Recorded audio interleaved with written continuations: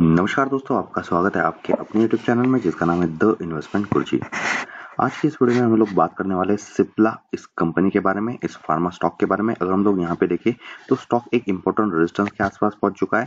तो यहाँ पे इस स्टॉक में अगर आपकी पोजीशन होगी पोजिशनल लेवल पे तो क्या करना चाहिए? और लंबे टाइम की अगर आप निवेशक हो तो क्या करना चाहिए?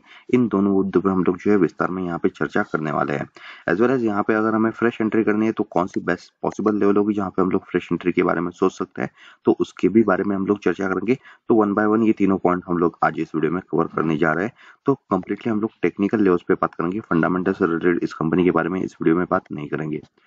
तो चलिए दोस्तों, फटाफट वीडियो को शुरू कर देते हैं, लेकिन उससे पहले ज़रूर कहना चाहूँगा, अगर आपने अब तक द इन्वेस्टमेंट गुरु चैनल को सब्सक्राइब नहीं किया है तो कर लीजिए। इसी के साथ बेल आइकन पर प्रेस करना ना भूले, ताकि हमारे हर एक वीडियो की नोटिफिकेशन आप तक पहुँचती रहे। चलिए दोस्तों, करते हैं स्टॉक का टेक्निकल एनालिसिस अगर हम लोग इस चार्ट को देखें तो ये जो है डेली चार्ट है, यानी कि एक कैंडल एक मंथ को एक दिन को रिप्रेजेंट कर रही है और ये हम लोग जो है 2020 से जनवरी से लेके अब तक का डेटा यहाँ पे देख पा रहे हैं। दोस्तों फ़र्स्ट ऑफ़ ऑल बात की जाए तो यहाँ पे जनवरी मंथ में स्टॉक जो है लगभग यहाँ पे 500 के आसपास चलता था, साढ़े चार सौ के लेवल में चलता था। जब मार्केट गिरा तो ये स्टॉक भी गिरा और स्टॉक ने अराउंड जो है यहाँ पे साढ़े तीन सौ के भी नीचे जाने की कोशिश की। उसका स्टॉक में शार्प रिकवरी आई और अगर हम लोग उसके बाद देखें तो स्टॉक यहाँ पे अच्छा खासा रैली दिया है। निचले लेवल से ऑलरेडी स्टॉक ने जो है अराउंड जो है डबल से ज़्यादा रिटर्न दे दिया है। दोस्तों, अगर हम लोग यहाँ पे स्पेसिफिकली इस एरिया को यहाँ पे नज़र करें तो यहाँ पे हम लोग देख सकते हैं स्टॉक कंसिस्टेंटली जो है कंसोलिडेशन जोन में चल रहा है। पिछले, अगर हम लोग अगस्त मंथ से देखें तो अगस्त मंथ से अब तक, यानी कि पिछले चार पाँच महीने से स्टॉक जो है एक स्पेसिफिकली रेंज में चल रहा है स्पेसिफिकली जो है कॉन्सल्टेशन जोन में चल रहा है। दोस्तों, अगर हम लोग स्पेसिफिकली यहाँ पे अगस्त मंथ से अब तक का डेटा जानने की कोशिश करें तो यहाँ पे हम लोग देख सकते हैं स्टॉक के कॉन्सल्टेशन जोन में चल रहा है, जिसका ऊपरी लेवल निकल के आता है। लगभग यहाँ पे जो है 813 के आसपास, जहाँ पे मल्टीपल टाइम स्टॉक ने रेजिस्टेंस लिया था, इसके ऊपर स्टॉक नहीं जा रहा है पिछले चार पाँच महीने से। अगर हम लोग लोअर लेवल की बात करें तो लोअर लेवल पे स्टॉक को 711 का रेजिस्टेंस है तो इस रेंज में अभी स्टॉक जो है यहाँ पे अटक चुका है। दोस्तों हम लोग स्टॉक के यहाँ पे शॉर्ट टर्म यहाँ पे चार्ट पैटर्न को एनालिसिस करने की कोशिश करें। तो ये जो भी कैंडल यहाँ पे बनी है इस पर्टिकुलर बक्से में तो ये बनी है स्पेसिफिकली दिसंबर मंथ की कैंडल तो अगर हम लोग इसको एनालिसिस करने की कोशिश करें तो यहाँ पे हम लोग देख सकते हैं स्टॉक को एक सब रेजिस्टेंस है 797 यानी कि 800 के आसपास. और इस रेजिस्टेंस के ऊपर स्टॉक ने जो है यहाँ पे मल्टीपल जाने की कोशिश की थी, लेकिन इसके ऊपर नहीं जा पा रहा है.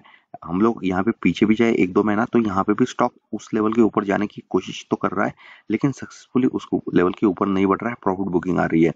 तो पॉसिबली यहाँ पे ऐसा फिर से हो सकता है तो अगर आपकी पोजीशन होगी तो 797 के यहाँ पे आपको जो है ट्रैक करना होगा।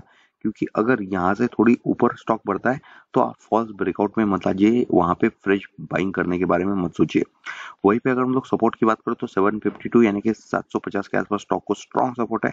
वहाँ पे खरीदारी के बारे में सोचा जा सकता है फॉर द फ्रेश बाइंग क्योंकि यहाँ पे भी हमने देखा कि मल्टीपल टाइम उस लेवल के आसपास आने की कोशिश स्टॉक ने, लेकिन उसके नीचे नहीं गया स्टॉक तो रेंज मैं आपको बता रहा हूँ 725 से लेकर 750 ये जो रेंज निकल के आ रहा है, यहाँ पे आप फ्रेश बाइंग के लिए स्टॉक के बारे में सोच सकते हैं। दोस्तों, अगर हम लोग लंबे टाइम का यहाँ पे एनालिस करने की कोशिश करें तो अगर आपका यहाँ पे ऑलरेडी पोजीशन बना होगा तो आप इस पोजीशन को होल्ड कर सकते हैं, लेकिन आपको एक जो है यहाँ पे ध्यान में रखनी होगी कि ये स्टॉक जो है इसका कॉन्सोलेशन लेवल इस लेवल में निकल के आ रहा है। तो यहाँ पे कॉन्सोलेशन में अगर आप एंट्री करते हो तो पॉसिबली इसी लेवल में आप अटक सकते हो। तो मैं आपको सजेस्ट करूँगा, अगर आप लंबे टाइम के प्लेयर हो तो यहाँ पे फ्रेश बाइंग के लिए तब तक मत सोचिए जब तक स्टॉक इसकी जो है मेजर रेजिस्टेंस 715 के ऊपर कम से कम चार से पाँच दिन यहाँ पे टिक नहीं जाता। अगर हम लोग यहाँ पे निचले लेवल से जो है बाइंग किया और अगर हम लोग यहाँ पे छह महीने, एक साल के लिए रुके तो यहाँ पे आपको 713 का लेवल ध्यान में रखना चाहिए। जब 713 के नीचे यहाँ पे जो है तीन चार दिन नीचे चला जाता है स्टॉक तो पॉसिबली वहाँ से करेक्शन आ जाता है, सकता है, लेकिन ये जो है थोड़ा मुश्किल करंट लेवल पे मुझे लग रहा है। दोस्तों, ये था मेरा पर्सनल एनालिसिस डेफिनेटली आप आपका खुद का एनालिसिस ज़रूर कीजिए और उसके बाद इस स्टॉक में एंट्री एग्जिट के बारे में सोचिए। As well as the investment guruji channel को सब्सक्राइब करना ना भूले। ऑल्सो इस वीडियो को आपके फ्रेंड सर्कल में शेयर करना ना भूले। तो दोस्तों मिलते हैं मेरे नेक्स्ट वीडियो में. Till then goodbye